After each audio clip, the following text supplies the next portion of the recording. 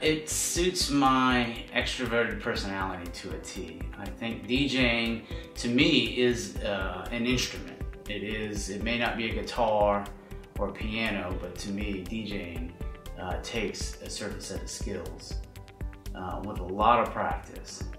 So um, I think I started in 1989. Uh, I was mentored by an older DJ, and it was a club DJ, and I fell in love with it. I just saw how he commanded the dance floor, uh, how everybody was happy, everybody danced the night away, and, and that that gave me a rush.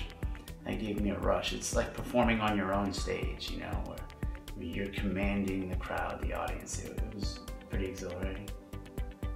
I think seeing that just everyone's happy. Um, it's different than a corporate event. I like doing corporate events as well, but I, and and school dances, but a, a wedding, there's just a, a, different atmosphere where they celebrate a newly formed couple, um, and it's all about them, right? It's it's seeing the, the gladness in their hearts, the beaming parents proud of their you know their, their newlywed son or daughter, and um, I just it's overwhelming. It's over. It really is. I, I enjoy doing weddings because of how glad and happy everybody is at the end of the night.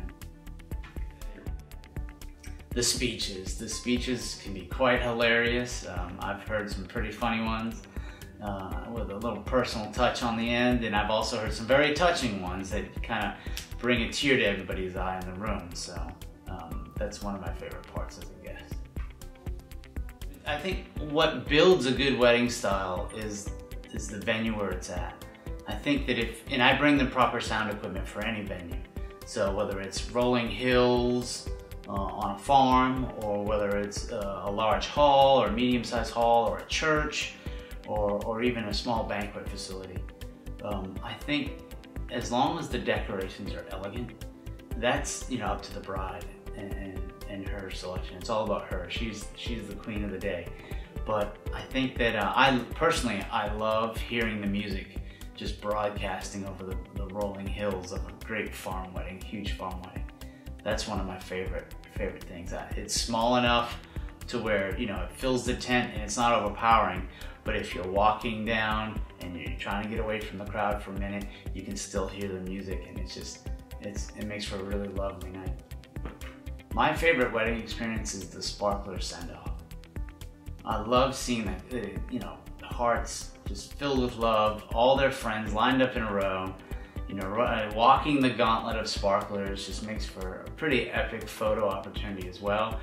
But it's a great send off. I love playing that last song of the night, whether it's their, their first dance song or something upbeat that they're they're getting whisked away, you know, wherever they're going, their honeymoon. Um, just seeing that at the end of the night, knowing that everybody was happy and everybody had a great time, and that they're just excited to start this new adventure together.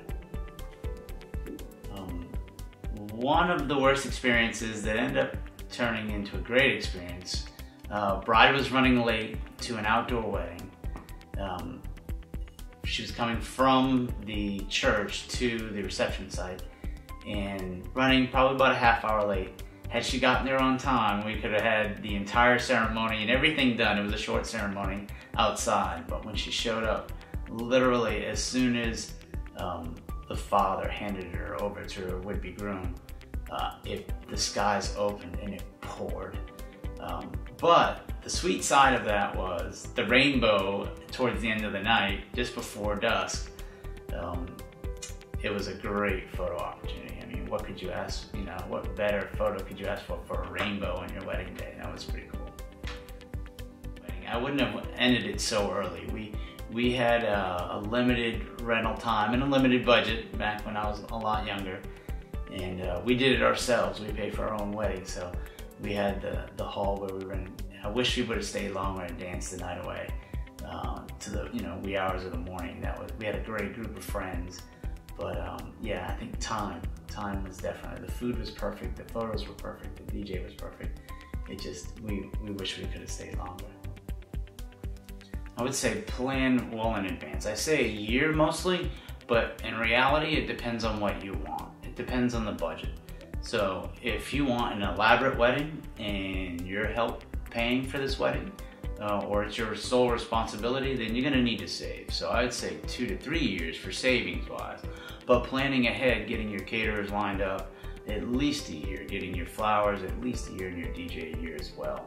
Um, I know from all the professionals I work with, our schedules are usually booked at least a year out. So, um, and decide what's important. If, if the flowers are more important than the food, or if the DJ is more important than the venue space, um, you can tailor your budget to that, and there's no surprises.